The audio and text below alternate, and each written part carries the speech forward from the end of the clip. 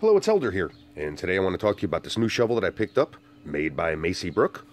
And uh, what's pretty cool about this is it's not only a pretty good shovel, made of solid uh, material, but it also has multiple components and multi-applications that uh, are basically features that are bundled into the uh, shovel itself.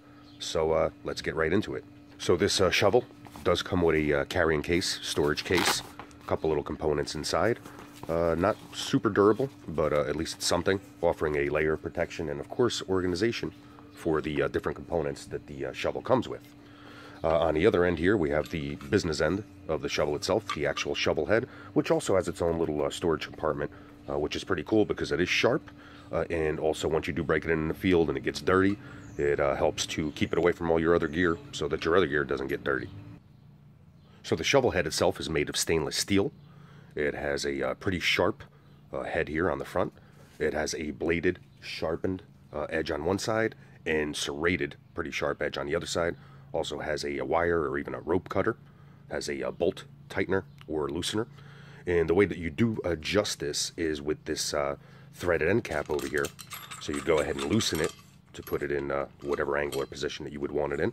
And then once you get it in the angle that you do want it to, you go ahead and tighten it up. Actually tightens by going to the left and loosens by going to the right. Now the handle itself and all of its segments are made of aircraft grade aluminum. Also feature this uh, diamond gripping here, this texture, which makes uh, retention and handling that much easier. And uh, the fact that it is aircraft grade aluminum makes it extremely durable and also very light.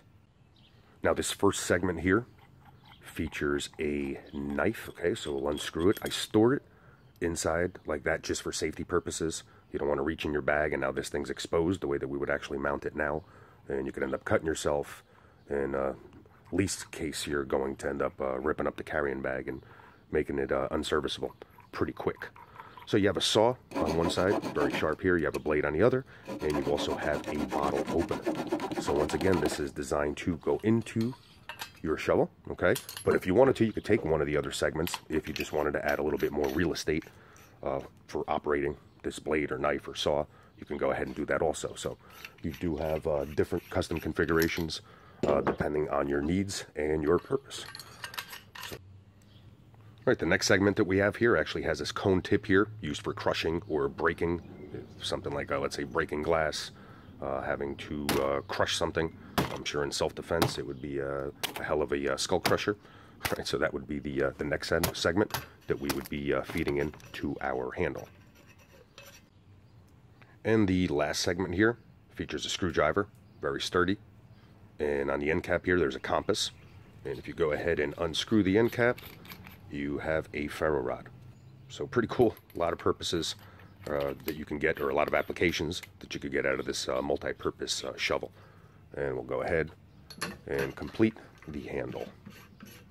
Now with the uh, shovel completely assembled, it uh, really feels good, really feels balanced, not heavy at all, uh, feels like you can do some damage. I mean, you could easily wield this as a, as a self-defense weapon, but its main application of, of course, being a shovel. It, uh, it does the job and uh, seems to do it very well.